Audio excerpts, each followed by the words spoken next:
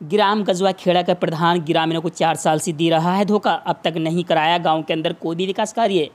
आपको बता दें, जनपद हरदोई तहसील शाहबाद के ग्राम गजवा खेड़ा का बड़ा मामला सामने आया है, जहाँ ग्रामीणों का कहना है कि ग्राम प्रधान चार साल में अब तक कोई भी विकास कार्य नहीं करा पाया है और ना ही गाँव के अंदर कोई भी नाली बनाई गई है और ना ही कोई रोड गाँव का बनाया गया है और ना ही शौचालय, ना किसी को प्रधानमंत्री आवास योजना का लाभ मिला है।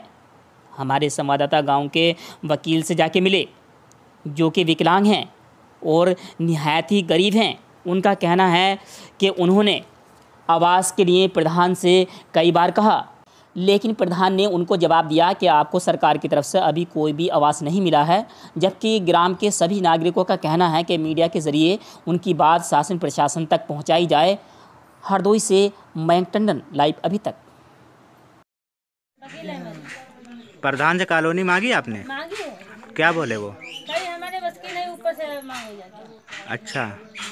तो कॉलोनी लेटरिन हम्म। लेकिन ये फार्म यहाँ रख लेते फाड़ के फेंक देते। अच्छा। कोई सुनवाई नहीं। प्रधान खुद मिल खा रहा लेटरिन इतनी आए विकलांग का इनकी भरी है फार्म? हाँ। लेकिन नहीं।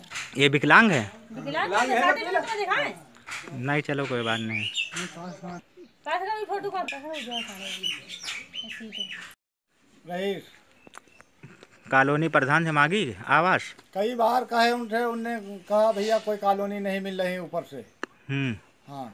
लेटरिन एटीन गाँव में? लेटरिन कहीं कोई आए नहीं है। आती नहीं है तो देगा का किसको? गाँव के प्रधान का नाम? गाँव के प्रधान का नाम है साहब रिजवी।